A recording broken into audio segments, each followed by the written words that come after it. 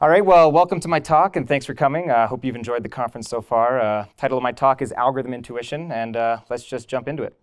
Uh, so the first thing I want to say is uh, I'm not an expert. I'm just a dude. This is a quote from uh, Scott Schurr, who gave a talk in CPPCon 2015, and he said the following. If you, if you have an answer for me, because I'm not an expert, I'm just a dude, um, if you have an answer for me or if you have questions or whatever else, um, not only do you get to ask your question or make your statement, but you also get chocolate. So uh, I stole the quote and I also stole the, the gimmick. Uh, so our volunteer here has chocolates. Uh, hopefully he can throw them out if you guys have questions. I'll try and throw that thing to you um, just so that I don't slow myself down trying to throw you guys chocolates. And then also uh, I don't have to be held guilty if he hit someone in the head like Bryce did last night. Um, Uh, so first things first, a little bit about me. This should be like C++ facts about me. Uh, I love C++. Uh, I've been coding in C++ for five years. There's an asterisk next to it because for the first three, I wasn't using any algorithms or any data structures from the STL uh, libraries. So really, everything I've learned has been in the last two years. Um, I love auto. I'm definitely in the AAA camp, almost always auto. Uh, I prefer east const, and I've actually hidden one const west in all of my slides, two chocolates to the person who can find it. Um, I prefer East End functions. So those of you not, who are not familiar, uh, last year Phil Nash gave a talk called, or a, a, lightning talk called "We Have Always Been at War with West Constia," and uh, he was arguing for trailing return types, which he termed um, East End functions. And one of the motivations he gave was uh, that a number of other languages do it. So Swift does it, Haskell does it, and he also says that mathematics uh, notation uh, commonly does it as well. I thought this was going to be followed by a number of other slides uh, with other languages, but it wasn't. He stopped it two languages. Uh, so I'm going to enhance that. Rust has trailing return type. Python 3 with type annotations has trailing return type. Go has trailing return type. Kotlin has trailing return type. If this isn't enough reasons to do trailing return type, and those of you not familiar with the uh, syntax, it's using auto where you would typically uh, put your explicit return type and then trailing return type at the end. Um, so I'm definitely all for uh, East End functions. It lets me write Haskell or code, C++ code that looks like Haskell. And also, for those of you that who are at um, C++, Lightning Talks last night, Chandler gave a Lightning Challenge where he showed a minimal and clean uh, API for a map. And if, uh, for those of you that noticed, he was using trailing return types. And it enabled the autos all lining up and each of his four methods uh, lining up, which in my opinion looks really, really nice. Um, so if you don't believe me, uh, believe Chandler.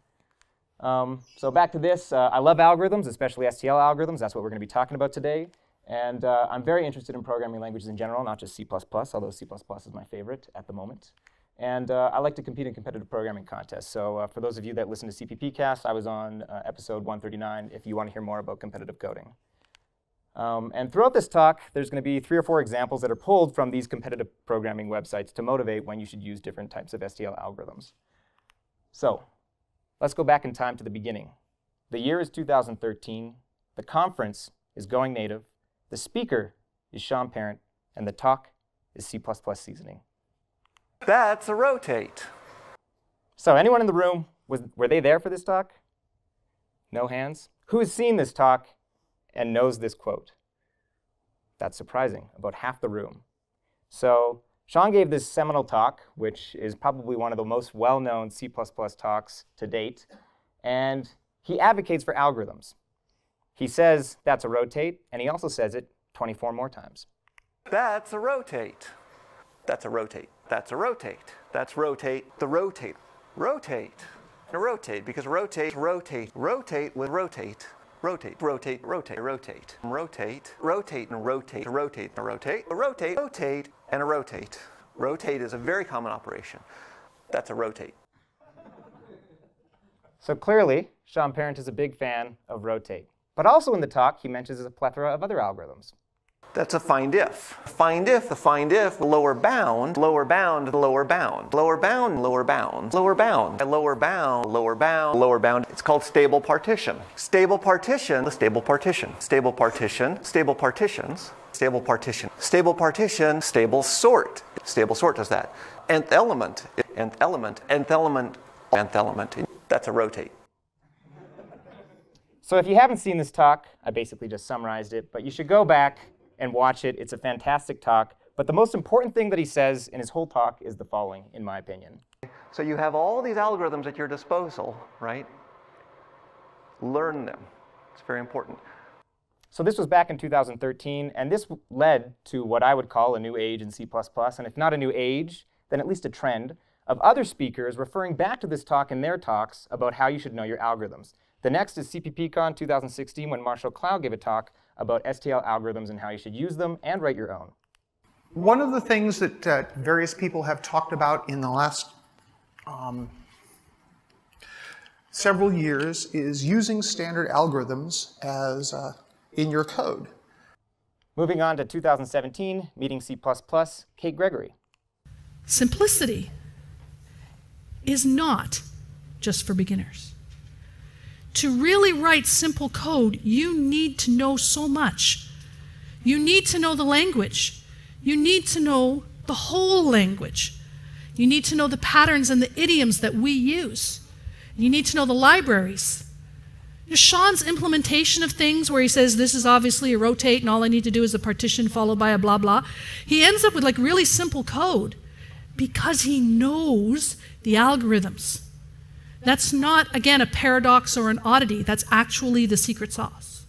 And then a few months later, at ACCU 2018, Kate Gregory again. So I mentioned the ranged for. You find a loop that touches every element in the collection. Maybe I should change it to a ranged for. Or better still, maybe I should go look in algorithm. Uh, if you've seen the Sean Parent talk, uh, where he first starts talking about algorithm, and he says, hilariously, this is obviously a rotate. And I was in a room full of really smart people, as we are today, and I'm looking around like, they don't think it's obvious, do they? It's not just me, is it? It was, it was not obviously a rotate. But you want to get there. You want to be able to say, hey, this is obviously a rotate. And at the same conference, ACCU 2018, John Boccara gave a very popular talk by the title 105 STL Algorithms in an Hour.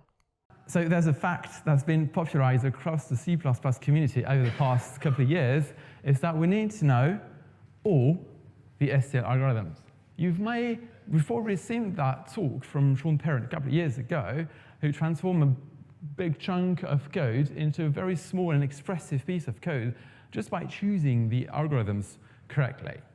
And finally, a few months later, at Code Dive, Odin Holmes says, hey, that's an accumulate. I know what that does. Who knows what that does? Good crowd, most of you. Learn your algorithms, learn your patterns. And then a quote from a CPP cast episode, which gave me the title of my talk. Sort of a Sean moment. Um, you know, if you if you watched his seasoning talk where he says, well, right. this is obviously a rotate, and the whole audience goes, huh? What? Um, you know, that moment where someone says, well, it's pretty obvious we can use upper bound for this, and, you know, does it in a single line. And you have a moment of going, uh, what? And then, yeah, sure, right, that is what upper bound can do for us. Absolutely. I Got it. I knew that. Totally. I, I was going to type that myself, but uh, you did it first.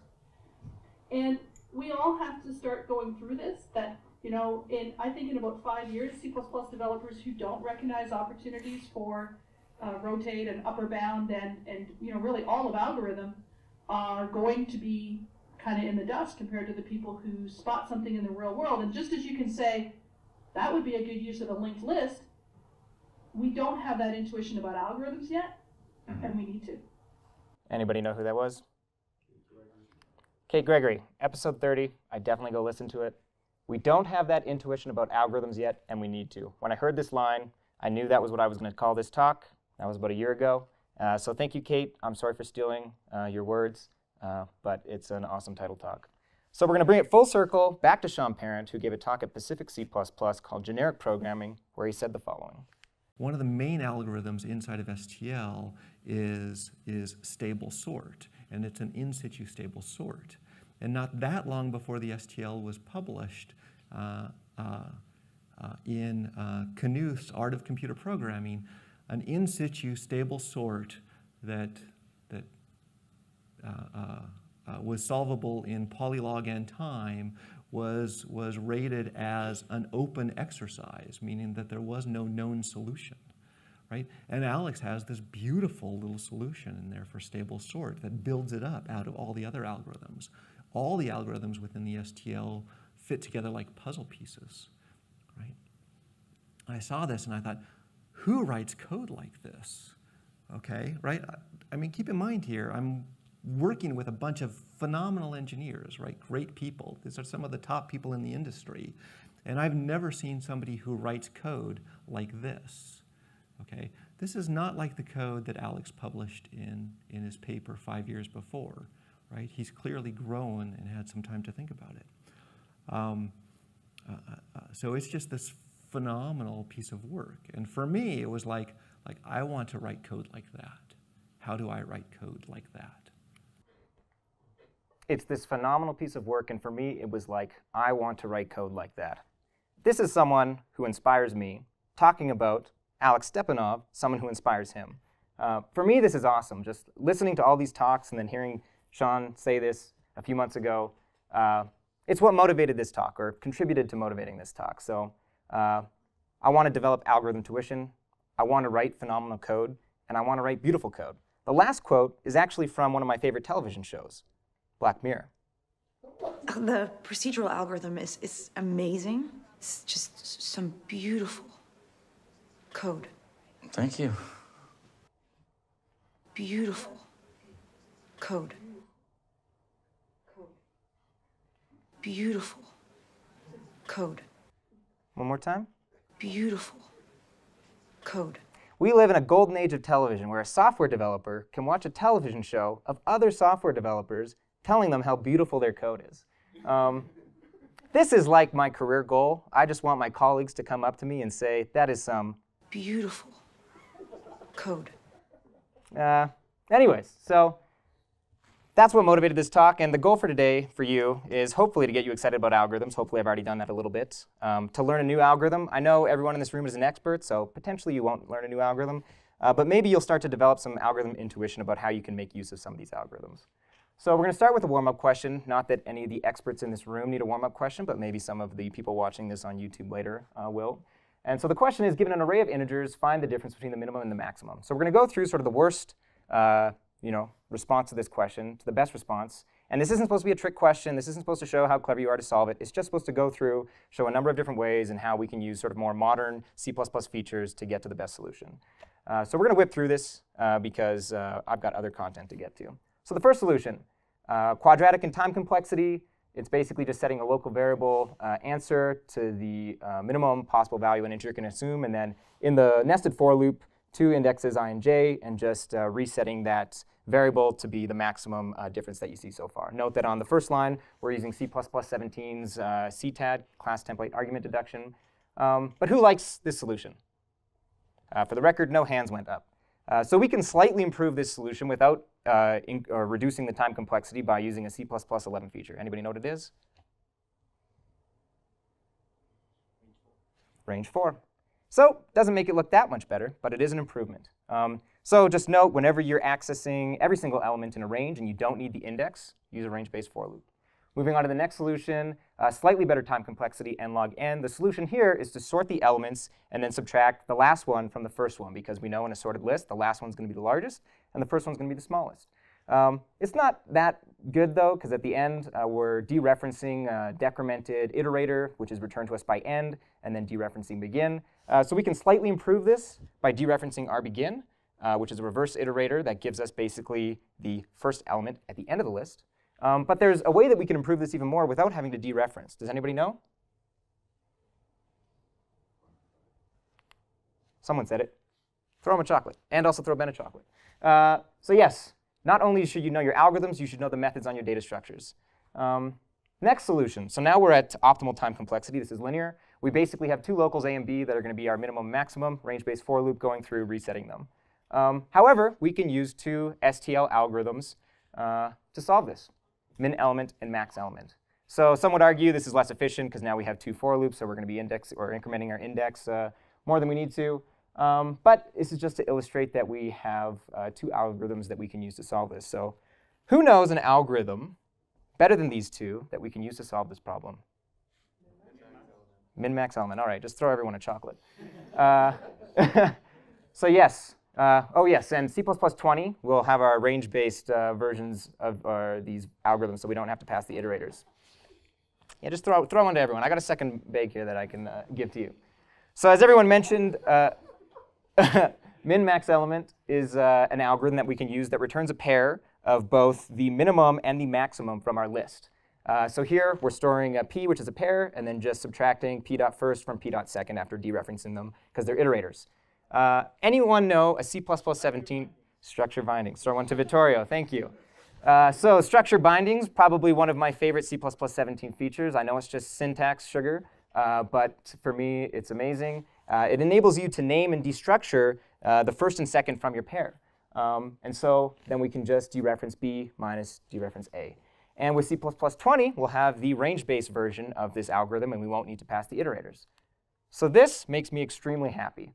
On the first line, we're using C++ 17 CTAD. The second, second line, C++ 17 structured bindings. We're making uh, use of what I thought was a more esoteric uh, algorithm, min-max element, but apparently everyone in the uh, room knows it. And then we're just returning the difference.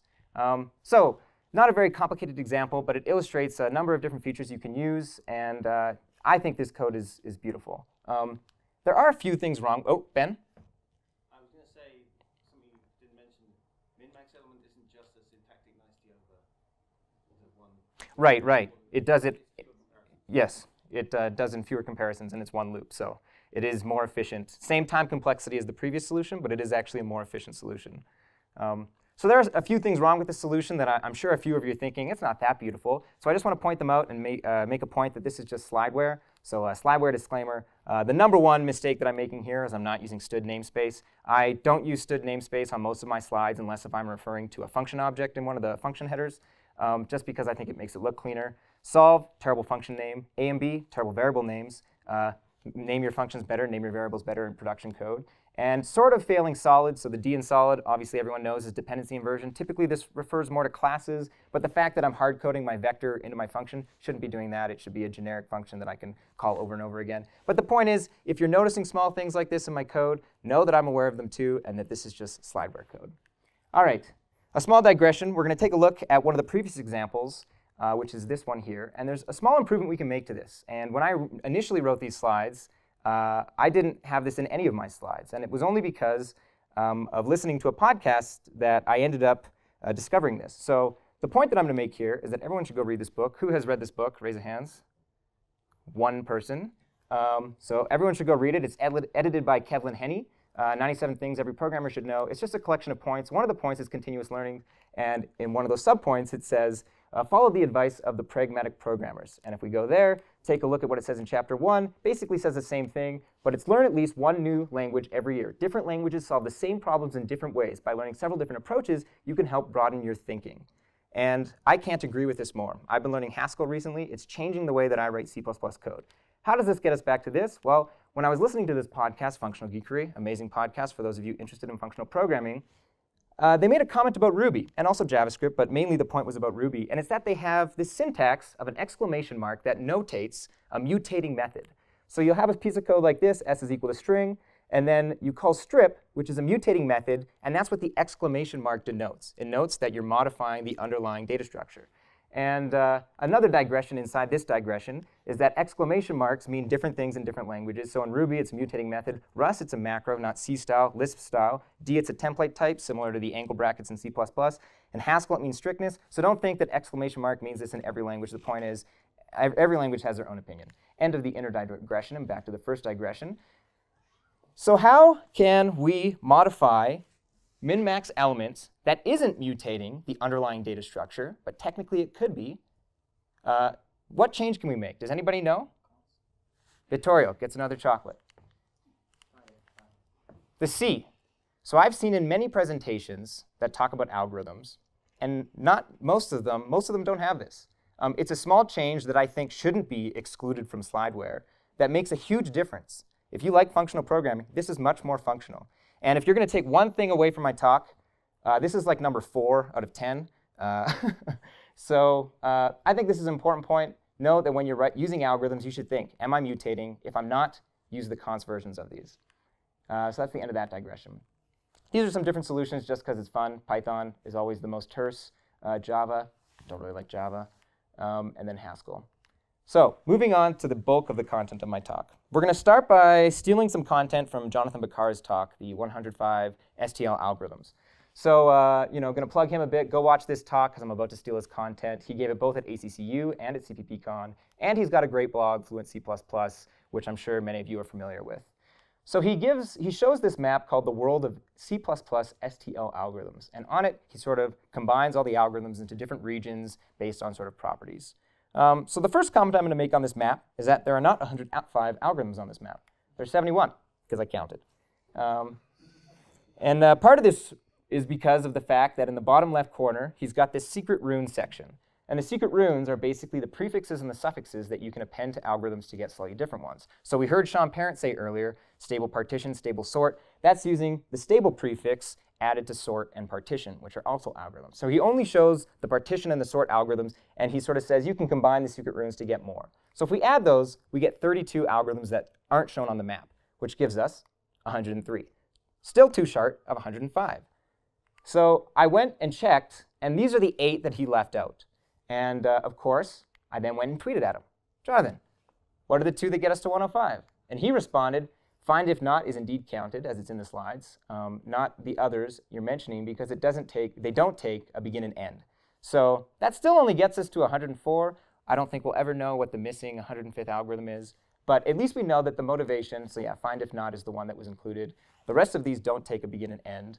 Um, so yeah, we'll never know. Uh, but the point uh, to know is that what motivated the algorithms going on this slide are the ones that take uh, iterators.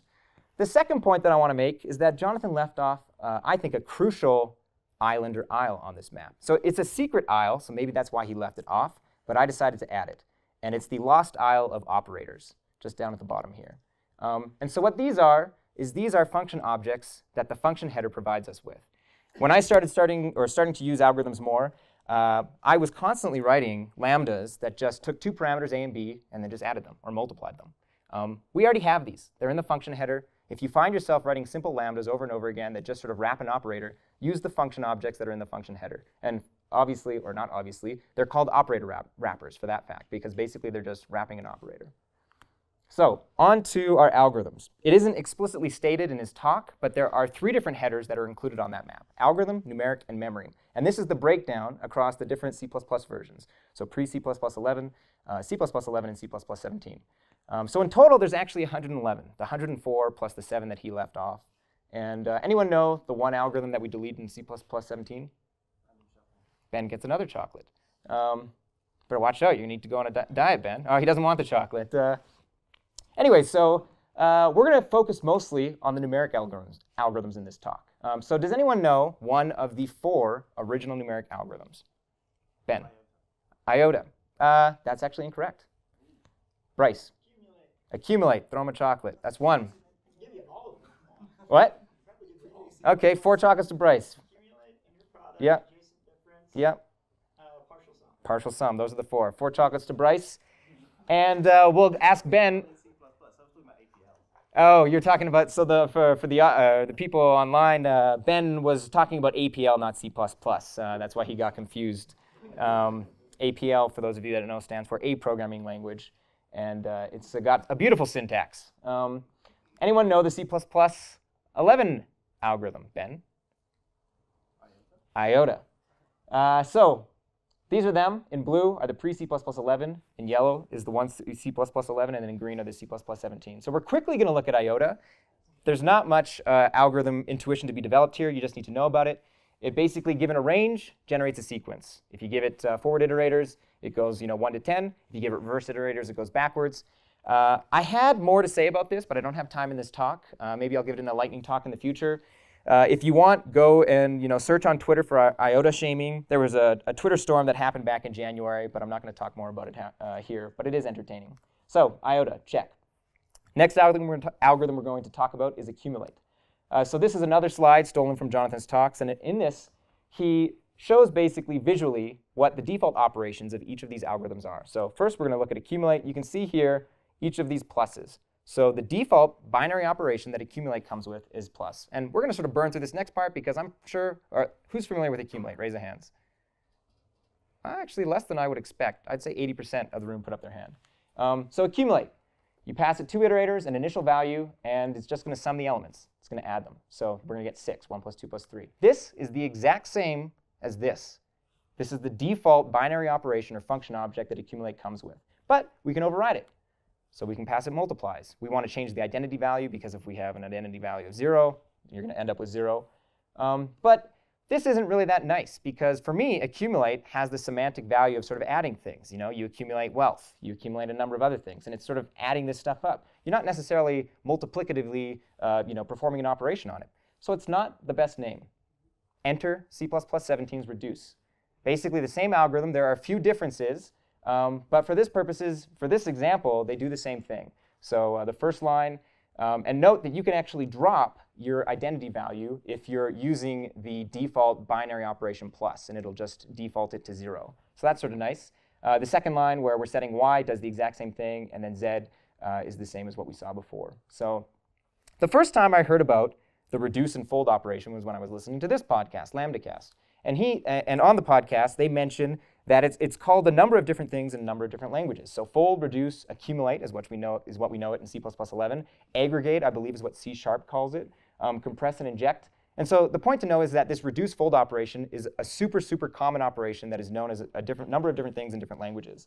And the second thing to note is that uh, they have an episode called Morphisms where they talk a little bit about category theory. And this falls into the category of catamorphism, which is basically this idea of having a list or a foldable and shooping it down into one element. Now note that you can have a list of lists that shoops down to one list, so it doesn't necessarily need to be a single value. But it's this idea of taking a structure and then folding it down into a single value. It doesn't need to be the same value that the um, uh, data structure co uh, contained in initially, and we'll see that in a second. Um, so taking a look at Rust, theirs is called fold, and it's very similar to accumulate and reduce. It takes uh, a range and initial value. D uh, is, has fold and reduce. And note that they actually have two different versions of each of these functions. They have one argument and a two argument. The two argument is similar to C++'s and Rust's. The one argument uses the initial value uh, as the first element. So it doesn't take an initial value, it just uses the first element of the range as the initial value. Interesting to note. And when you start to pay attention to this, uh, reduces are everywhere. We can implement many of the STL algorithms with a reduce. Std count, counting the number of ones in our vector v. Taking a look at a sample implementation, this is not you know, library quality, but you can do this and it works. You know, namespace template takes two iterators and your value that you want to count, captures the value in the capture list, two parameters. A is your accumulator, which keeps track of like the running count, and B is your current element, and you just return A plus B equal to V. I know there's an implicit cast there, just ignore it. Uh, but when B is equal to your value, you end up adding 1 to sort of the running count. Taking a look at another example, any of returns true when the predicate that you pass it returns true for any of the elements in your data structure. So in this case, we have a predicate in the form of a lambda, which returns true if your element's equal to 3. Sample imitation of this. Namespace template takes two iterators. A predicate p captures the predicate when you make a call to reduce, initializing the value that you're going to return to false, because if you have any of a list that's empty, it's going to be false. And then in your lambda body, returning a, logical or, the predicate evaluating b. And this is going to do exactly what any of does. So the point is, is that reduces are everywhere. This is not an exhaustive list, but I just went through. All of these could be implemented using a fold operation. Now note that the way that we implement, uh, implement accumulate, and reduce, they sort of restrict the types that you can return. Um, so you couldn't actually implement all of these with C++'s reduce or accumulate. The point is, though, that these are all catamorphic algorithms. These all fall into the catamorphism category of category theory. Uh, so just try and pay attention, and you'll start to notice. Ben? So I did that as an exercise for my 2016 talk. Of, of the, of the 90, I actually, as an exercise for a talk I did in 2016, implemented a bunch of algorithms as accumulate as a fold, as Conor says. Of the 90 that were in C++ 14, 77 were doable as a fold. So 77 of 90 algorithms that Ben Deane implemented uh, could be implemented with a fold. So clearly I did not exhaustively go through here, uh, but there's probably a lot more. So the point is folds and reduce are everywhere once you start to notice them. Uh, so there's a final note I want to make about reduce, and that's that they are parallel algorithms. They come with the ability to provide an execution policy, which will then turn your algorithm into a parallel algorithm. So I'm not going to talk about it here because I don't have time. This is a high-level talk. But if you're interested in this, there's a great article by Simon Brand, who works for Microsoft, called Std Accumulate versus Reduce. The link's there. He talks about the three different policies, seq, par, and par unseq. And uh, Bryce also has a great talk that you can go and watch. So these are resources if you want to know more. And note that accumulate and reduce, they're not identical. They are sort of reduces the, the newer version of accumulate, but there are differences uh, in them. So accumulate's done, reduce is done, iota's done. We're now going to look at a problem, and it's going to be solvable with one of the three remaining pre-C++ algorithms. And I've taken this from a website and modified the problem a little bit. Uh, see if you can, uh, you know, see the difference. Uh, so Jon Kalb is going to give Michael and Odin each one coin. Jon has n coins with different values. Jon wants the absolute difference between the value of the coins to be minimized so Michael and Odin don't fight with each other. Uh, given an array of coin values, help Jon find this minimum. Now this is, you know, may seem like a simple problem, but it's actually very important because we know that if Michael or Odin get a value a coin that's much greater than the other, uh, this is what's going to end up happening.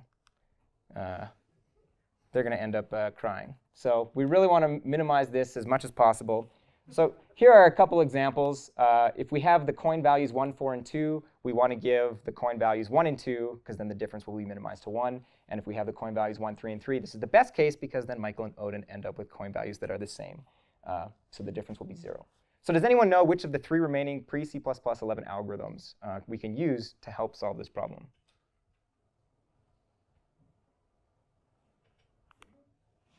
Adjacent difference. So uh, here we have a function, min value, that accepts a vector of integer coins. And uh, then on the second line, we're declaring a vector of integers diff. We're going to shorten this. Coins will be C, diff will be D, just so it's easier to read. And on the first line, we sort. And then what we're going to do is we're going to call adjacent difference, which is going to calculate the differences between the adjacent elements. And that's a property of a sorted list that we know that the closest elements are always next to each other. So if we just take the differences, and then on the last time line, take the minimum element from that list of differences, we're going to end up with the minimum difference. Um, and note that we have to take the minimum difference from the second element in our vector d, because uh, the way that adjacent difference works is that uh, the first element is always going to be the uh, initial element subtracted or uh, minus 0. So you're basically going to end up with the first element, which isn't a valid difference that we want to consider. Bryce. Couldn't we do the last two in one pass, sort of a transform adjacent difference-ish? So Thank you, Bryce. I'll pay you later. Um, what's wrong with the second line? So implicit in Bryce's comment, so Bryce's comment was, uh, can we um, do the last two lines sort of in one sort of transform reduce operation? Um, and uh, that's going to foreshadow a, a, slide later. And uh, the point is that we don't need to do a linear space allocation with vector d. If we look at the type signature, the function declaration, we're going from a list of integers to a single integer.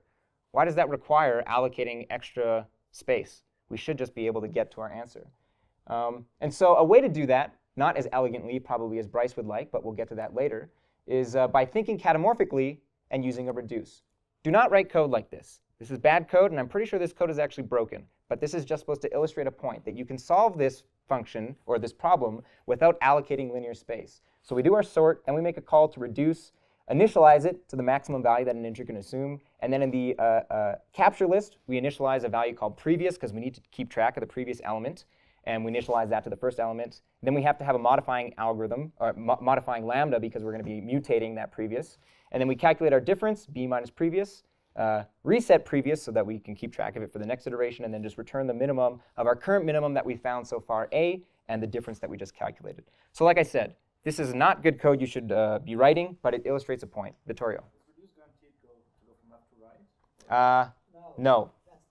So that is uh, part, so this won't work. I said it's broken, and uh, yes, yes. So accumulate is guaranteed to go from left to right, and that is what's talked about in the resources that I provided. So there is a slight difference. You shouldn't be writing code like this where your lambdas are carrying state because then it's not guaranteed to work. In a basic example like this, if you run this code, it actually probably will work, but as soon as you're doing stuff in production, it won't.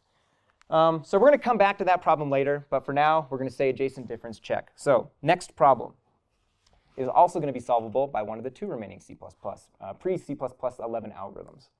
So you're given a length L of n posters, and the wall heights W at which they will be hung. They are hung at the 75% mark of the poster. Given Chandler has height h, how tall a ladder does he need? So what this looks like is we're given some inputs, and this represents three posters that are hanging on a wall. The, uh, one of the points that we're given is the top of the poster, the next uh, list is going to represent uh, the length of the poster. And so we're given the height of Chandler, who's right there, but unfortunately, he can't reach the posters. So we're going to need to give him a ladder, and this problem is asking us to find the height of the ladder, which is going to be here. So basically, the problem reduces down to what's the maximum point on each of these posters that's represented by where the green meets the orange, that is the 75% mark of the poster. Um, so the way we can solve this is with a simple mathematical formula, which basically takes W, uh, the top of the poster, subtracts the length divided by 4 because we're hanging it at the 75% mark, and then ceilings that because the problem states we can't uh, uh, pin it at or, or hang it at a, uh, a non-integer value, and then subtracting Chandler's height from it.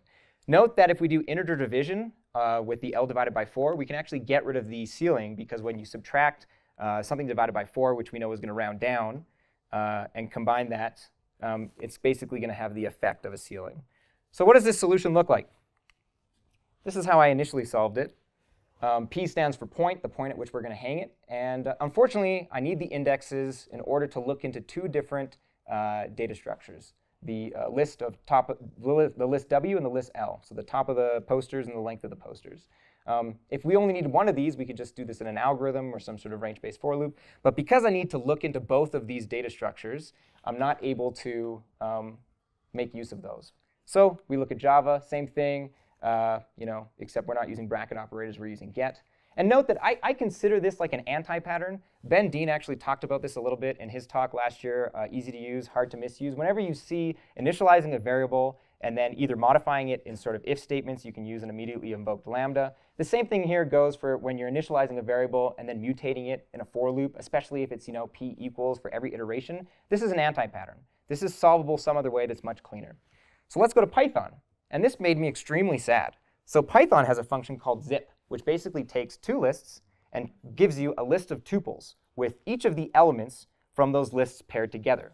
And then you can combine that with uh, destructuring, similar to structure bindings in C++17, where it basically destructures each element out of your list of tuples now.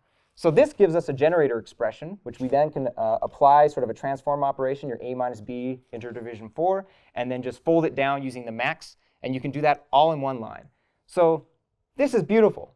Having this zip to combine two lists together and then at uh, two at a time, stripping out those elements and performing a transform on it is just amazing. And it made me really, really sad um, that C++ didn't have this.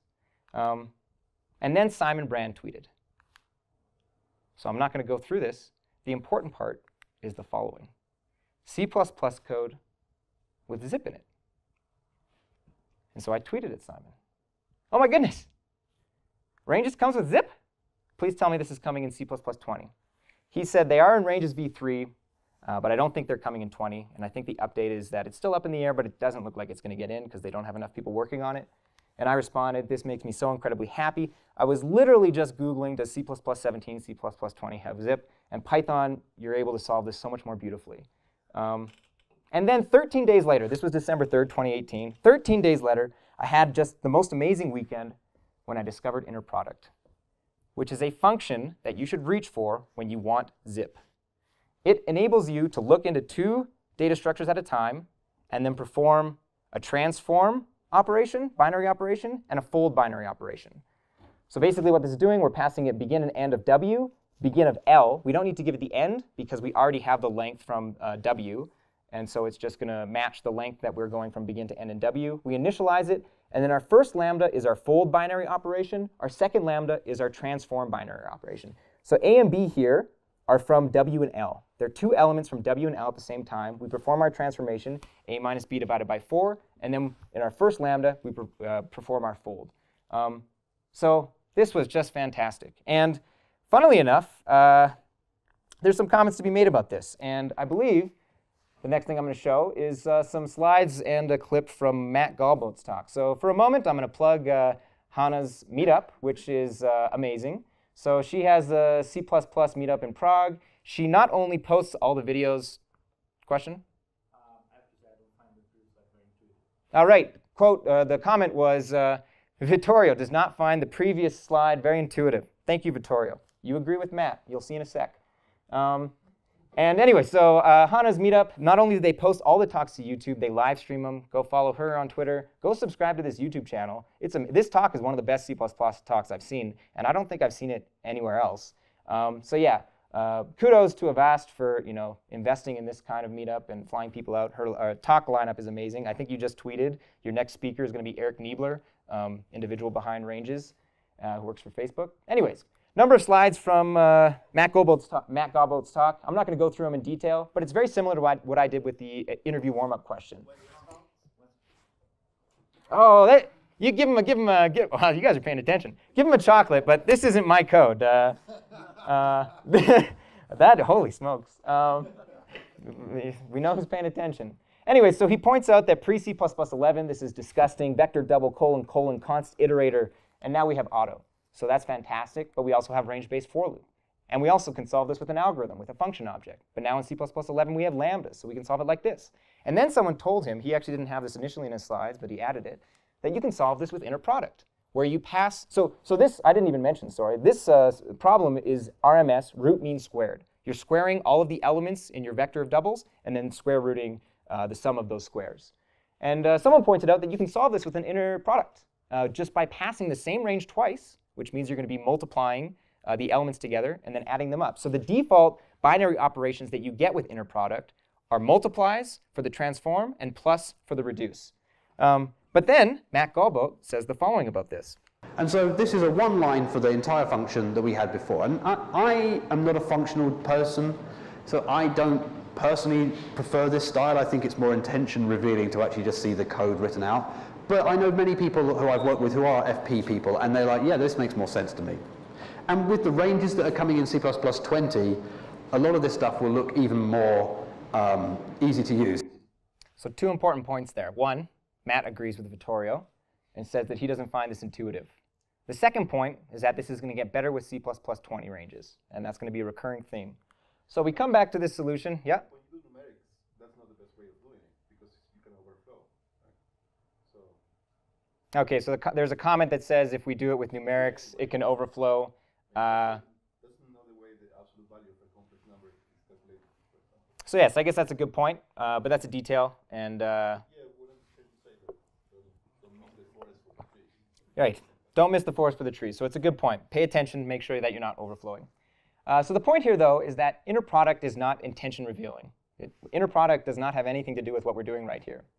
Um, not the best name.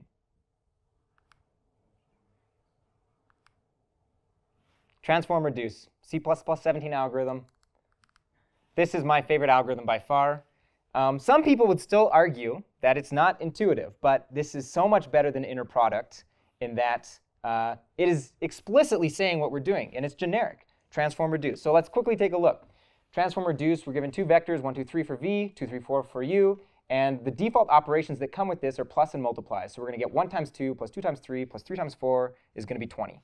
Um, the point about this is that you can overload your binary operations. Do whatever you want. And transform reduce is still a good name for what you're doing, because it's, it's a generic term for the fact that we're transforming and we're reducing.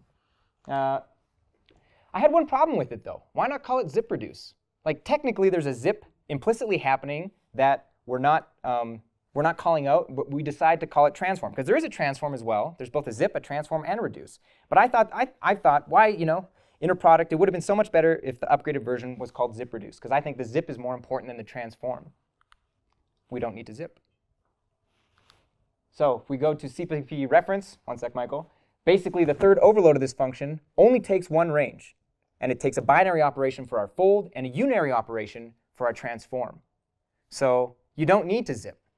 And that's why transform reduce is actually a much better name, because one of the overloads you're not zipping. So what, taking a look at what this looks like, if you have a vector v, 1, 2, 3, there's two different ways to code this, and I actually don't have a formed opinion on which way is better. So here we're basically summing the squared numbers. On the first line, we're just using reduce. And in the lambda body, we do both the reduce and the transform. The b times b is the square, and the plus to a is the reduce. And on the second line, we use transform reduce with the non-zipping version, where we explicitly separate the fold and the transform. Um, so I would say whenever your, your fold and your transform operations get complicated, you definitely want to reach for transform reduce where you're not zipping. Uh, but in a simple example like this, um, I'm not actually sure which one's better. Michael, you had a question earlier. I was just going to say, I, I, I, think of zip as a packaging mechanism in order to deliver the data, as opposed to transform as an operation that's going to occur across multiple things. That's a good point. So, so Michael pointed out that he thinks is a zip is sort of a, a packaging mechanism and less of something that is going to be in an algorithm. Is that a good paraphrase? Yeah. So we say transform reduce. I think that well, there's two things occurring as opposed to zip reduce. Um, It's just a packaging and then one operation, and it ignores the more important second operation. Okay, yeah. So that's a good point. And then Michael points out that basically to ignore one of the main two operations happening in the algorithm probably wouldn't be a good idea. Um, but it doesn't matter because I agree with transform reduce anymore. Uh, or I, I, redu- I agree that transform reduce is the name that this should have been. Um, but yes, acknowledging both operations is important. Ben, Ben. Transform reduce is analogous with regular transform, though, right? Because regular transform, we off- the way we often use it is as a unary function on Yes. range, but there's a binary version of it. Yes, it's a fantastic point. And we're going to see more, hopefully, if I get to it later. Um, but that is a fantastic point that transform reduce is like a, an enhanced, or it's just- functionality added to what we had in transform, which is a pre C++ 11 algorithm. So if you want to talk, to, if you have a formed opinion or like use cases on which of these, of these you think is better, uh, come find me afterwards. I'd, I'd love to hear your opinions. But yeah, I, I don't have my mind made up about which is better here. So let's revisit our previous problem, the one where we were finding the minimum difference between coin values. So the last time we looked at it, we looked at it with a, a reduce, which I said don't code like this. And Bryce alluded to the solution that we're about to see, and that's the following. A transform reduce where the first range is the elements 0 to n minus 1, and the second range is the elements 1 to n. So basically, even though we're looking at two different ranges, they're both on the same range. We're just looking at different subranges, and that gives us adjacent elements. And then we can just take the absolute difference of the two different, uh, the two elements that are adjacent to each other, and then the fold operation that we're doing is just taking the minimum. Anybody know a way we can improve this code, though?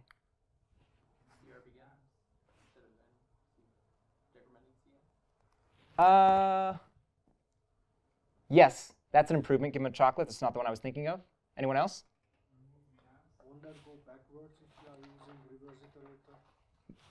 Oh yeah, that actually yeah, give him a chocolate, but that's true. So that actually didn't that didn't work because you can't use a reverse iterator. This is not just returning a value; it's returning an iterator that needs to be paired as the same. So good point. There was one in the back.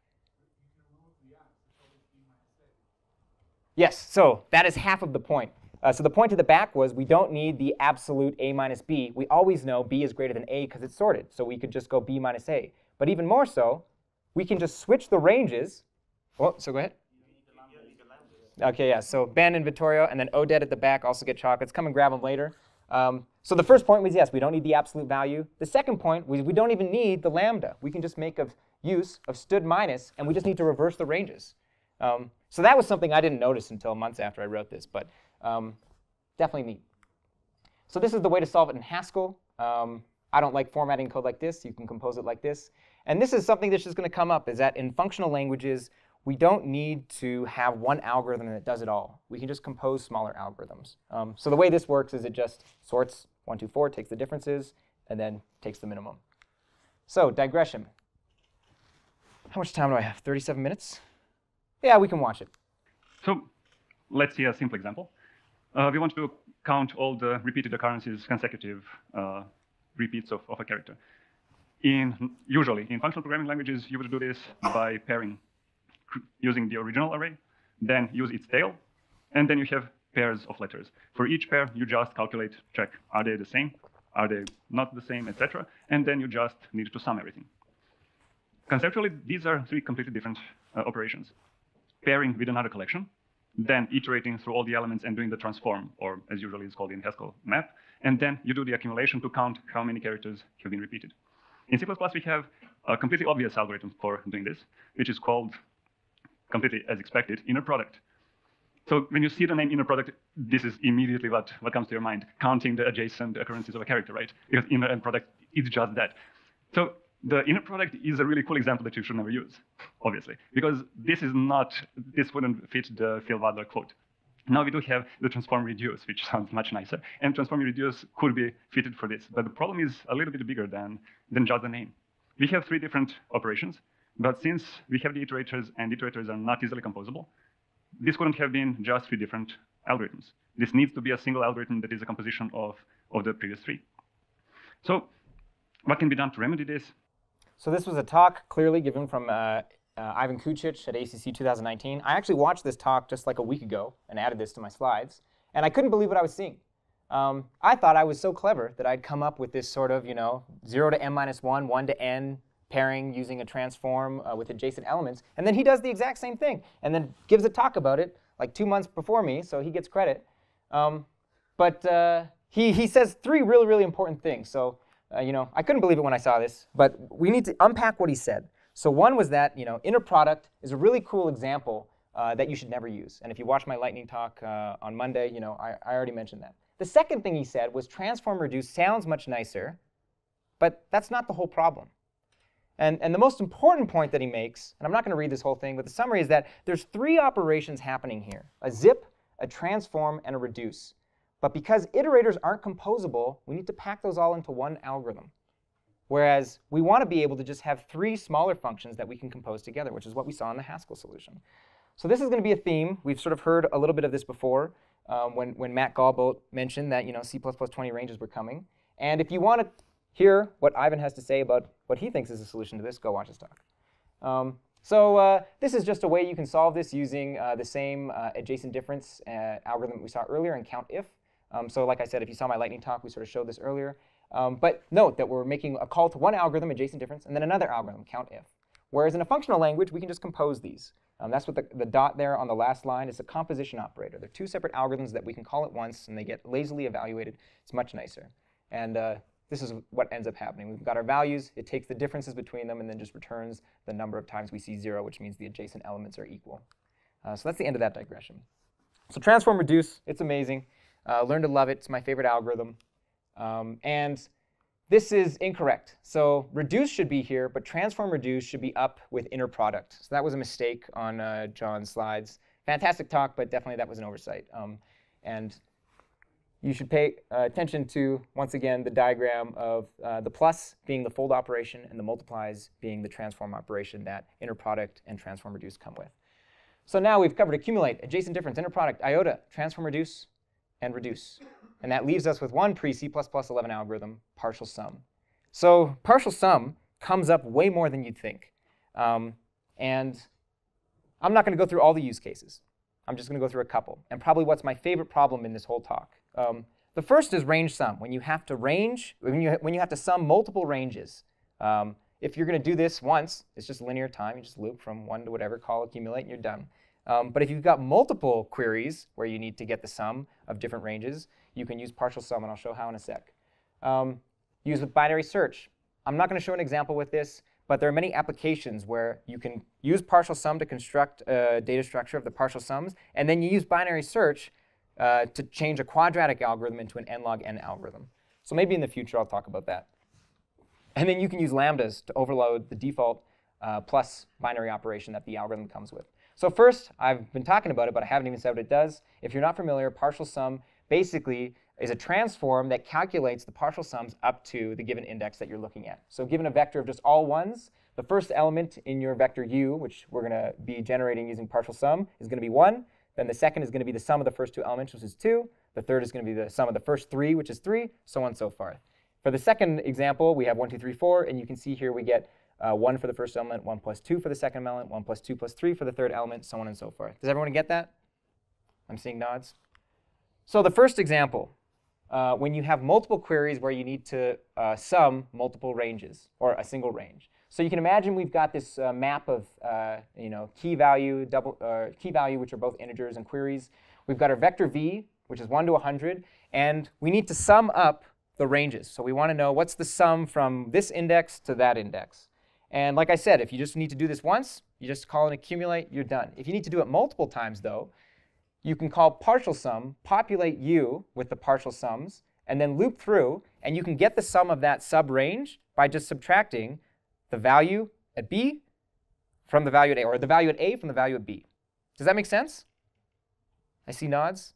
And this is a, a, trick that I learned from competitive programming that happens very commonly. Whenever you have some problem where it has multiple queries where you, you have to sum these ranges, you just you can make a most people don't call partial sum they just write it uh, with a hand rolled for loop but you can use partial sum and then do these queries so that's a neat trick moving on to our next problem which is probably my favorite problem in this whole talk and i'm not going to say uh, when or with which company but i actually got this exact problem in an interview once And I did not solve it as elegantly as I did now. I wish I had have.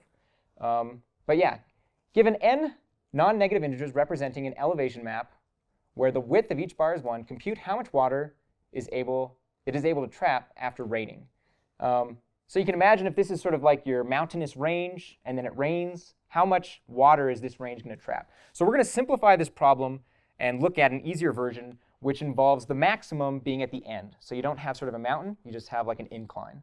Um, and so the way you're going to solve this is you are going to basically do a single pass from left to right, keep track of what your maximum that you've seen so far is, and then at each step, add to some running sum uh, the difference between the current height and the maximum you've seen so far. Uh, so it ends up looking like this. For your first one, your maximum is going to be 2. 2 minus 2 is 0. You don't add anything. From the next step, your height is 1. And so you subtract 1 from 2, which gives us 1. So then we know that at this point, we've got one, I guess, unit of rain.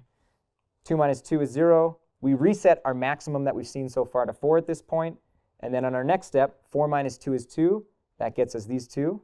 Next step, 4 minus 3 is 1. That gets us this unit of range. Does that make sense to everyone? So it's a single pass keeping track of the maximum height of your range that you've seen so far. And then you just do a difference of the current height that you're at. Whenever you're at the maximum, you just get 0. And whenever there's a difference, you're going to add that to your running sum. So what does this look like imperatively without using any algorithms? It's pretty straightforward. You've got your vector. You've got a variable m for the max that you've seen so far that you just initialized to be the first element of your range. Then you've got your answer, which is going to be the total amount of rain that you were able to capture. And then you have your range-based for loop. At each step, you reset your maximum. And then you also do a plus equals to the answer, which is your plus equaling the maximum you've seen so far plus the current element or the height that you're looking at. And then at the end, you just return your answer. Does that make sense to everyone? I'm seeing nods. There's a question at the back. Yeah? There's a problem with, oh, so, so yes, this is a simplified version of the problem. You missed when I said we, are we're guaranteed that the maximum is the last element. But you're, you're correct, yes. If this, if this was the original problem, uh, it wouldn't account for the right side of our, our mountainous range. Um, but this is how we would solve this imperatively. So how could we solve this with algorithms? Partial sum, overloading the binary operation with max. So we're no longer taking the partial sum at each point i, we're taking the max that we've seen so far at each index i. And so that this partial sum applied to u basically gives us the white and blue combined. So we're going to get 222, 444, 555, and 7. Yep? My intuition for this is is like a reduce that remembers the previous things. Is that correct? Yes. It could be this, this, this simple version of this problem could be uh, solved with just a reduce as well. But we're trying to highlight partial sum right now. Yep?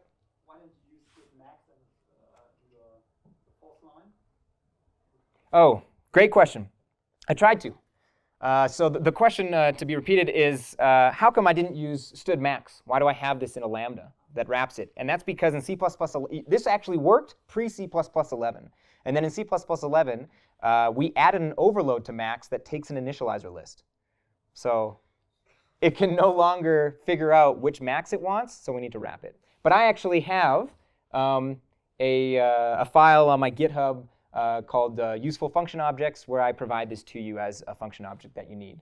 Um, so I'm going to show that on the next slide, but there's, and, uh, but so the point to make uh, for the last call, transform reduce, we're then taking the difference of the white and blue and the white, which gives us the blue, is basically what we're doing on the last line here. So there's another improvement that we can make on top of, you know, getting a nicer function for the max. Does anybody see what it was? It was similar to what we had before.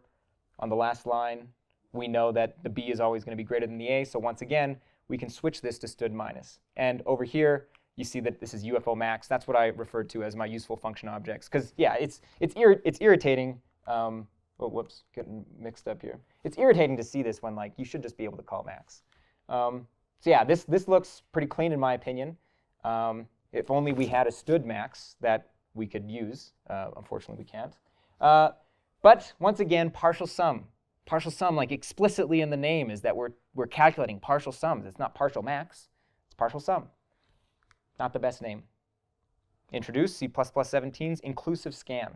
Inclusive scan is your revamped partial sum. And you might be thinking, I, I, I see a few squints in the crowd. Eh, is that the best name? this is, uh, it's taken from other languages, I'm pretty sure. In Haskell, you have a scan function that does exactly this, a couple different versions. So this scan idea is, uh, is it's common in other languages. So um, yes, inclusive scan, but much better name. Let's go back to the original problem now. We were solving an easier version. Um, how do we, so, so this is what Oded uh, made a point at the back, is that this doesn't work for this side. We can't just do a single pass from left to right because at this point, max, max, max, it's not going to work. So how can we modify the solution that we just looked at to solve the full problem?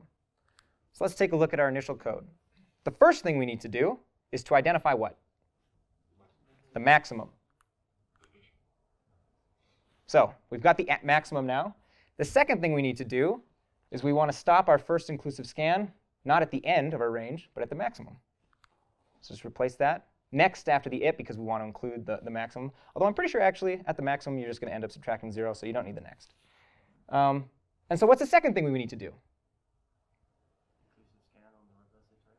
Ben Deane with the solution. Inclusive scan with reverse iterators to the maximum. And you see this little reverse here. Where does that come from? It's a templatized type alias. So what's the main difference between typedef and using? Is that using is templatable. What? Is using is readable. Using is readable. OK, two differences. Using is readable, and uh, you can also templatize using. Um, so this is actually, this is C++ 17. Um, it makes use of uh, C++ 17 CTAD, class template argument deduction. If you're using C++ 14, uh, with the reverse right here, you need to use a decltype on the iterator to get the type. Um, but yeah, C++ 17. Um, so, pardon? Okay, and so there's a comment from the front that said there's a make reverse function, so maybe you don't even need to do this uh, templatizing using and then uh, casting. Um, but yeah, didn't have to make too many changes, and then we solved the problem. Ben.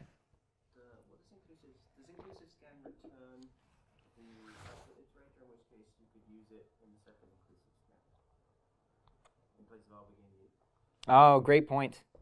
Great point.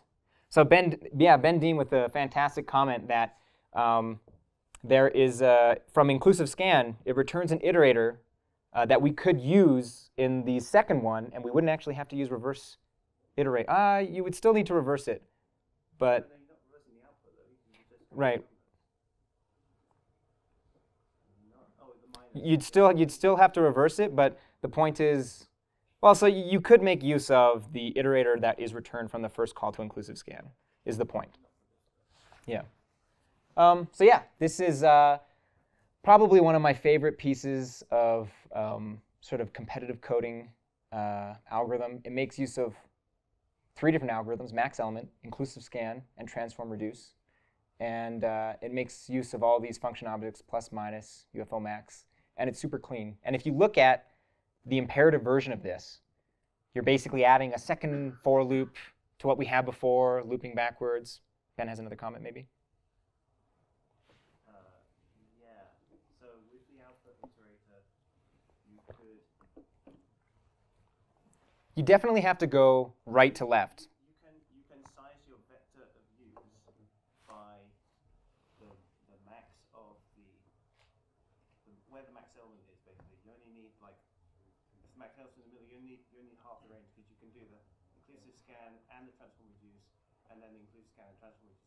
Mm, yeah, I think that's right. So the Ben's comment, or you, you had the mic, uh, but that basically we don't need as much memory. You'd still need to know like where the max is, like because it might not be at the center. But the point is, but you need you need to know the the distance. Yeah, exactly. The bigger half uh, is the point. Um, and so the point is that you don't need as much memory. Like this is suboptimal in terms of the extra memory that we've allocated, and that uh, whatever is the larger half where the maximum occurs, you could only allocate that much and just sort of reuse. Um, yeah. Uh, so yes, there technically, I'm sure, is a solution where we uh, allocate zero memory, um, but then it wouldn't be as nice for demonstrating inclusive scan. So, uh, but it, but it's a good point. But maybe there is a version in which uh, I don't know the function that you pass to inclusive scan has a side effect that can keep track of things while it's doing this inclusive scan. Yeah, possible. It's possible. So yeah, there, there, the, to paraphrase, you know, there, there could be a couple other ways that are more efficient um, to solve this. So we've covered accumulate, adjacent difference, exclusive scan, inclusive scan, inner product. I guess technically we didn't include uh, exclusive scan, but basically the difference is, is you provide an initial value and it doesn't take um, the initial the initial element is the initial value, and then uh, it excludes the current element that you're looking at. Um, but it's, it's basically just a variation of inclusive scan. So if you understand inclusive scan, it's just one step to uh, understanding exclusive scan. Inner product iota, partial sum reduce, and transform reduce. We're going to ignore the other two, and we're going to move on to probably what is the most important part of this talk. Um, and it's the algorithm intuition table. Yeah. Damn it. I made this slide. I made these slides last night. See, I apologize. Hope uh, it's going to be spelt wrong on the next slide too. Um, so here's a table of most of the algorithms that we've looked at so far. IOTA really shouldn't be there, but I just felt bad lefting, leaving it out. Poor IOTA. Um, and these are three properties for all of these algorithms.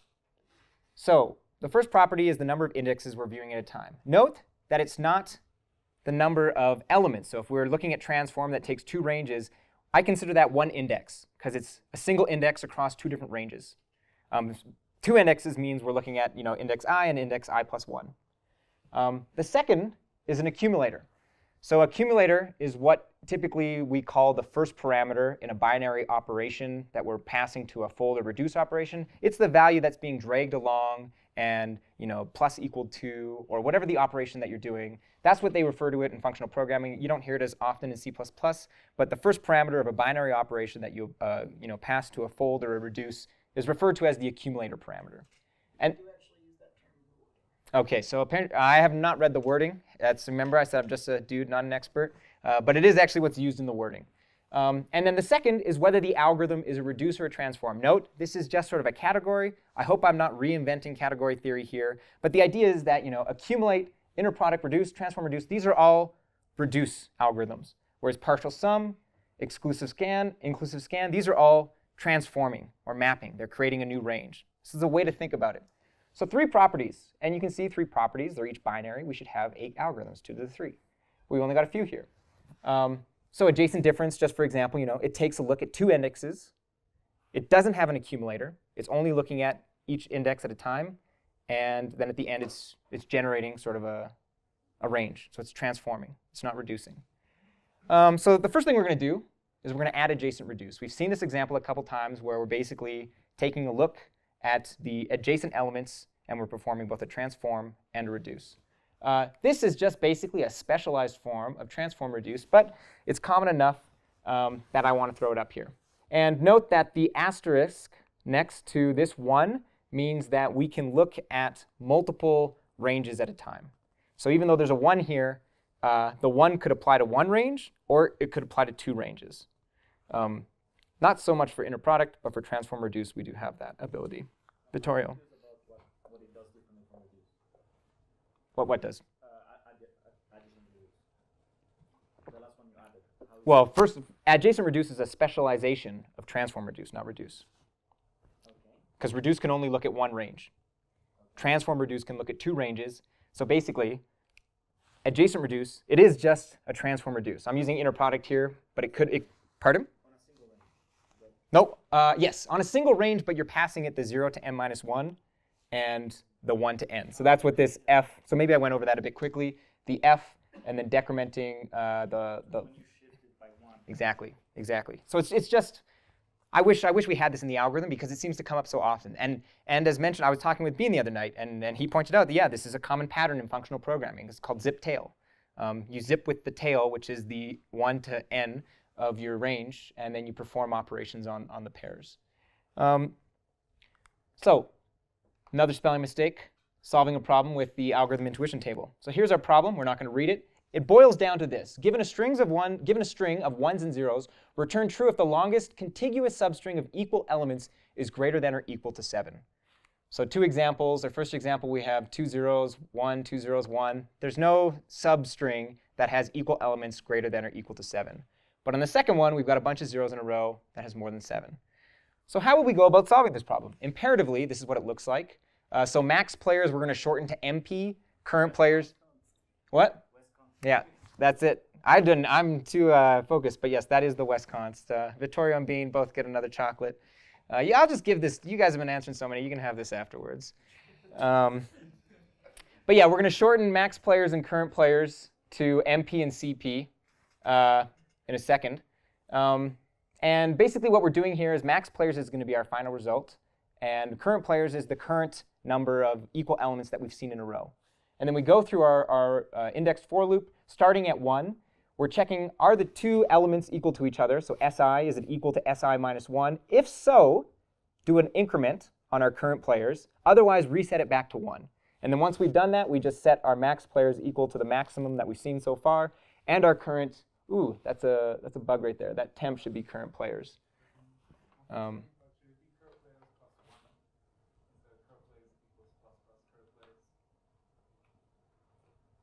it's the same thing. A pre-increment or a post-increment is the same as a plus 1. Okay, yeah. So the point is that I shouldn't be using a pre-increment or a post-increment. I should just be doing plus 1.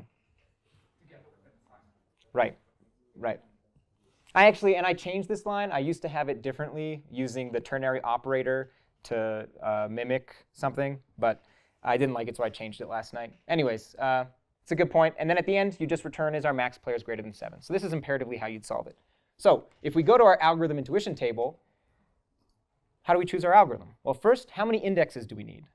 We're looking at two elements that are side by side, so that's two indexes. Do we need an accumulator? Well, yes, because we need to calculate what's the current number of equal elements that we've seen in a row. And at the end of the day, what are we returning? A single element, or are we generating a range? And it's uh, that we're doing a reduce. So we choose adjacent reduce. So here's our solution. And this makes use of a uh, functional programming trick where when you need both sort of a temporary and then a maximum of the temporaries that you saw, you use a pair. Uh, so we're calling adjacent reduce, initializing our pair to be uh, 1, 1. And then our pair is our accumulator. And our, on the first line of our lambda body, we're destructuring our pair to be the max player and the current player. So like I said before, max player is MP, current player is CP. So this is a little bit easier to read. So the max player is the first element in our pair that we're using as our accumulator. And uh, the second is our current player. And we're basically doing the same thing then. So our, our second uh, is going to be an equal, which we get by using the equal to function object. So that's going to be our transform that we perform first on the adjacent pairs of elements in this adjacent reduce algorithm. So it's going to look at the adjacent elements, look are they equal, and transform those into a Boolean. And then we're going to pass that with our accumulator to our fold lambda that then basically does what the imperative solution does. So if the elements were equal, we do a pre-increment, as Oded pointed out, that we should be doing plus 1 there. Otherwise, resetting to 1, and then uh, returning a make pair of the maximum. Question? Are you scanning the whole string when you only need to go, when you hit the first 7, you should bang out? Yes, that's a great point. So this algorithm does not short circuit. It could be performed more optimally by returning out. Yes? So, so this is an adjacent reduce. That is a specialization of transform reduce that, has, that takes two binary operations. The fold, which is this big lambda, and then the transform, which is the std equal to. So the, the transform on the last line is applied first and takes our adjacent elements and uh, converts them to a, a, vector of booleans. Question? Uh, following up on the comment from the back about short circuiting, so I don't see a way you could do this with an algorithm like the reduce you're showing here. You can't. So is this like a win for imperative programming? Maybe. Uh, but yes, it's just a, it's a point to be aware of that sometimes you want short-circuiting algorithms. And we're going to see in a second that there are short-circuiting algorithms built into the STL um, algorithm library. Another question? So, I'm pretty sure it will not work, but there is a break here. Inside, it will not apply to the loop in which this algorithm No. Yeah, so the, the question was, can you use a break inside an algorithm? The answer is no. So, pardon? ben Deane's comment, you could throw an exception. Probably not what you want to do, though. but if you look at short circuit, that's the only way. I mean, to make it more efficient. Yeah. So, so the point is, yes, you, you can create a short-circuiting version of this um, that'll be more efficient. Uh, the point here, is that uh, functionally we can solve this way better. Um, we have a number of different algorithms that we can compose. And uh, what this is doing is group is a, a function that's a little hard to see up there, but it basically it groups a list into sublists, or in this case, a string into substrings, a list of substrings of equal elements.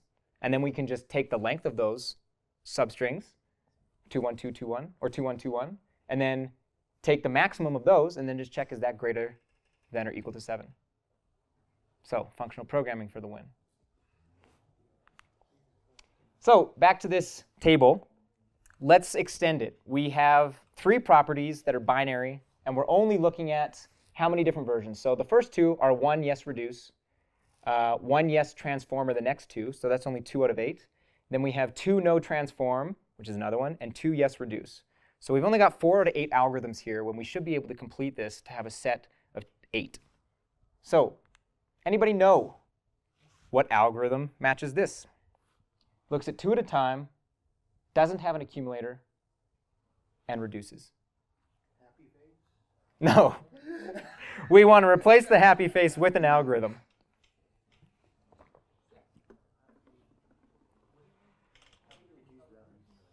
That's a great question. That's why there's an asterisk next to reduce, because it's it is a reduce, but it's a short-circuiting reduce, which could be implemented in terms of a reduce which doesn't short circuit, but the way that it's implemented, it short circuits.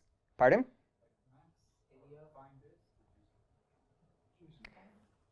Who said it? Adjacent Find. So there's a reason that I have an asterisk. You can see it next to the reduce.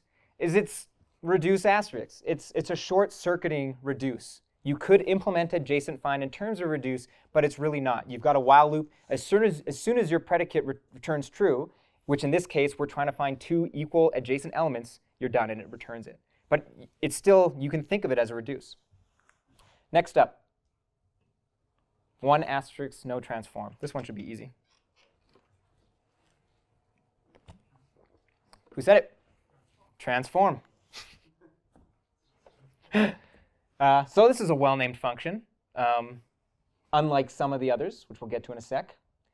What about this one? Whoa, one, no, and reduce. Oh, dead set at the back. It's fine. Once again, with an asterisk, because it short circuits. It's not actually going to fold over the whole data structure. It's going to return as soon as the predicate that you pass it returns true. Who's seen this example before? Wow. Two people, two people. And it's amazing that I happened to be talking to Ben, one of the individuals that raised his hand in the crowd, um, about this example. So you can generate a Fibonacci sequence with transform that basically passes for the two ranges, one that starts at the beginning and one that starts at the second element, and then outputs to the third element. And then the binary operation that you're performing is just a plus, which you've initialized your vector using this constructor here, all to 1. So initially, your vector is all 1s. And so when you add 1, 1 together, you get 2. And then for your next iteration, you add 1, 2, and you get 3. And now you're generating Fibonacci. And when I talked to Ben, and this is amazing, so this is why C++ now is, is so awesome, is that I didn't have the next slide in, in my slide deck initially. Um, he pointed out that you can solve this with a more specialized version of transform, which I'm pretty sure is what Oded was going to say. Nope.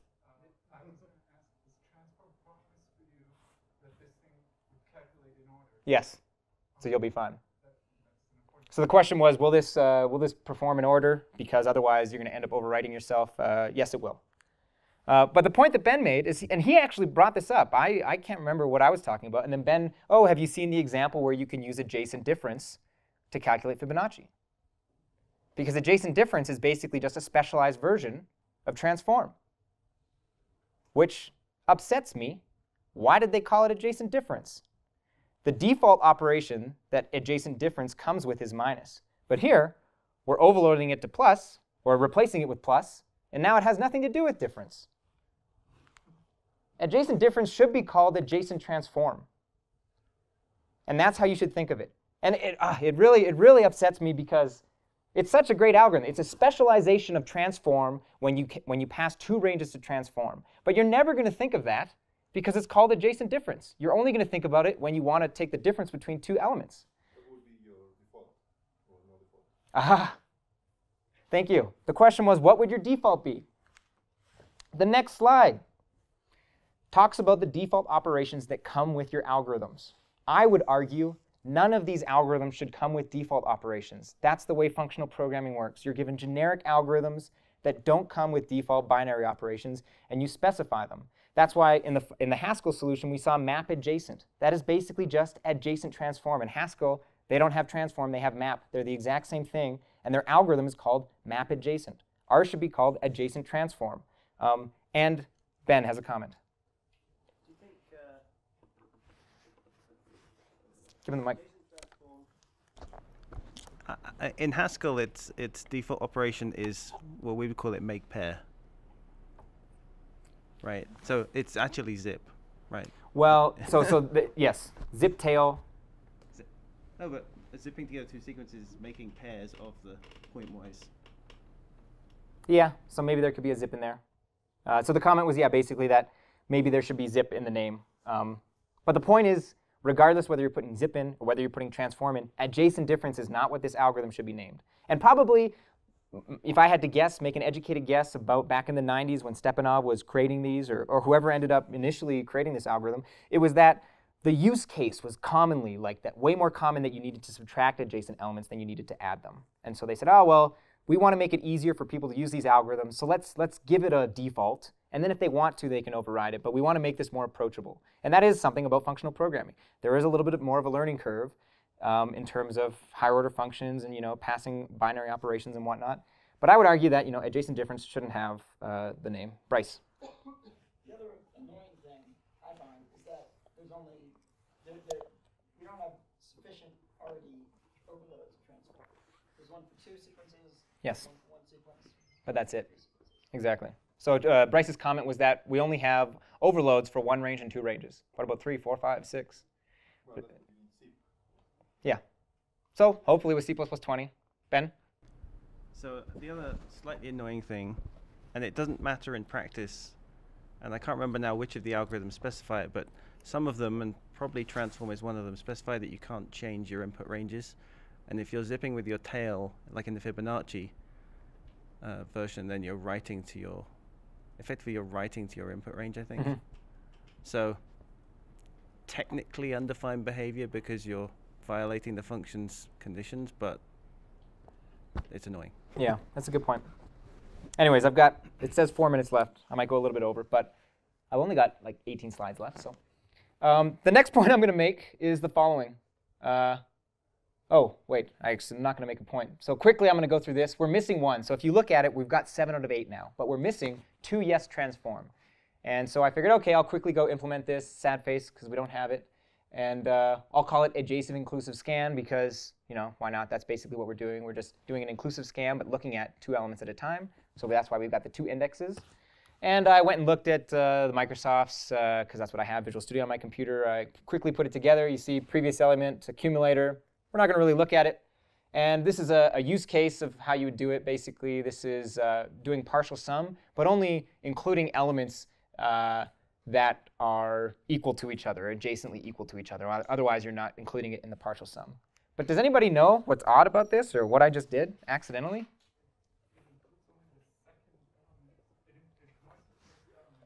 Uh, that's a good point, but not, not what I'm looking for. The point here is that uh, we already have this. These were the two that I ignored. I realized this two days ago. um, so yeah, well done to the people that behind these adding these algorithms. Um, they completed the set of uh, the three different properties: transform, exclusive scan, and transform exclusive inclusive scan. Uh, so where I had adjacent inclusive scan is what we wanted with transform inclusive scan. Um, so yeah, pay attention to the default operations. Um, the next point is that is just to echo what Ivan Čukić said and Matt Godbolt said. It's, these, it's not composable. How many of you know of find if as an algorithm? It's basically find with a filter. But what if we wanted to add if to all of these? Well, now we've got four properties. 2 to the 4 is 16. And you can think of those runes that were on Jonathan Boccara's slides as all different sort of, you know, there's underscore n. And uh, the point here is that these algorithms are not composable. And uh, I think C++ 20 ranges is really going to help with that. So one last problem You might have noticed at the beginning of my talk, my title slide, I had the following. Who knows what this is from? Or like what this represents? Scrabble. It's a board game. Anyone not familiar with Scrabble? Okay, so Scrabble is basically a, a, a word game where you've got this board that has double letters, triple letters, triple words, and then each of your tiles has a value. And you spell words in sort of a crossword-like fashion and try to score points by superimposing the value of your letters on this board. So you spell the word algorithm, you place it here, you need to calculate the score. What algorithm is this? Or transform reduce. They're everywhere. Once you start to learn your algorithms, you find them everywhere. Technically, you might be thinking, oh, well, you avoided the fact that you could have a double word, and then double word changes the algorithm. Yes, yes, I know. Uh, but it's supposed to be an illustrative example of just these algorithms are everywhere. Um, like, I never used to see them, and now that I know them, I see reduces everywhere, and I see transform reduces everywhere. Um, so that's the point I want to make, is that uh, Scrabble is like one of my favorite board games, and now when I think it, I, am sort of doing a transform reduce here. And uh, before we conclude, there's a bunch of small points I want to make. It says I got 10 seconds, although we started late. Uh, a bunch of other conferences. Every single one of these conferences has a YouTube channel that posts all their talks. So thank you to both Jon and Danny and, and the video crew. Uh, this is my first conference that I've attended, but I've been able to watch just hundreds and hundreds of videos online um, because they all post them online. Also, podcasts. There's two C++ podcasts. I think most people are familiar. Uh, uh, Jason and Rob uh, are for CppCast, and uh, Jon Kalb, the organizer of this conference, and Phil Nash are for CPP Chat. And there's also two functional program or podcasts that I highly recommend. Um, I think all, raise a hands who's read these. Oh, it's actually less than I think, 80%. So this is more for the YouTube audience, but if you're going to be, uh, you know, C++ Pro, you should definitely go read Scott Meyer's books. Um, subscribe to me on YouTube. I have a channel that solves, uh, you know, competitive programming channels, and you know, I post things to Twitter as well.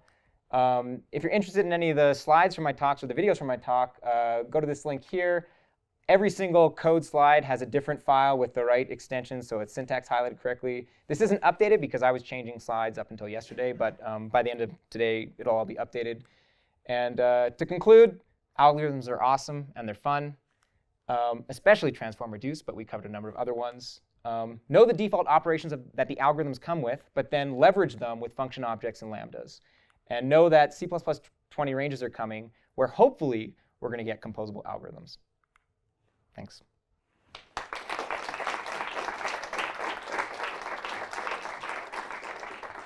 Uh, so there's one more thing I'll say. Uh, this is my first time giving a talk, so uh, more probably than others, I would love feedback. So here's the link you can go to.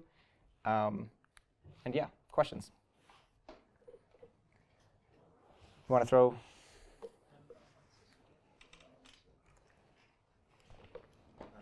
For the example of the R, um, RMS, can we in 10 seconds implement a better version that is more accurate for doubles functionally? Sorry, so for the RMS example, yes. can we what? Implement a more accurate version of it with your style. Do you imagine how to? I mean, the, the typical way is to find the maximum first, the maximum element in absolute value, and scale all the elements through that as you sum the squares. Uh, my, yeah, my guess is there probably is. Or sorry, Ben, do you want to respond? Yeah, I'm I'm wondering if you would do that. You can throw the throw the mic to Ben. Um, you can use a balanced reduction algorithm. The standard library doesn't provide any, but it's well known in the literature to provide more stable uh, and and no uh, less loss of precision. So balanced reduction, less loss of precision, for the RMS example that uh, was in Matt Godbolt's slides. Other questions? No? All right. Thanks, guys. Good job.